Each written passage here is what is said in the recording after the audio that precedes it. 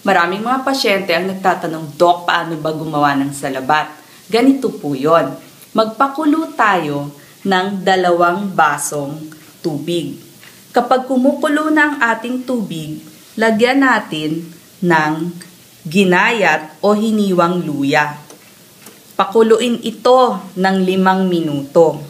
Kapag kumukulo na ng limang minuto, ay pwede na nating i-off ang pinakuluang luya at isalin sa dalawang baso. Pag medyo malamig na ang ating salabat, pwede nating dagdagan ng isang kutsaritang lemon o kalamansi, isang kutsarang honey or asukal para mas masarap ang ating salabat. Sana po ay makatulong itong salabat sa inyong paggaling.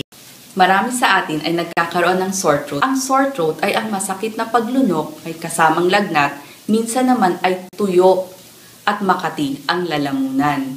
Ano ang dahilan ng sore throat? Ito ay galing sa virus tulad ng sipon at trangkaso, pwede din sa bacteria na tinatawag na streptococci, o galing sa pag-inom, paninigarilyo, allergy, pollution, or sobrang paggamit ng boses.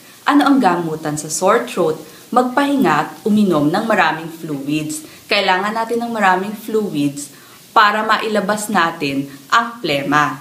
Paano nga ba uh, uminom ng maraming fluids? Pwede tayong gumawa ng salabat or homemade ginger tea.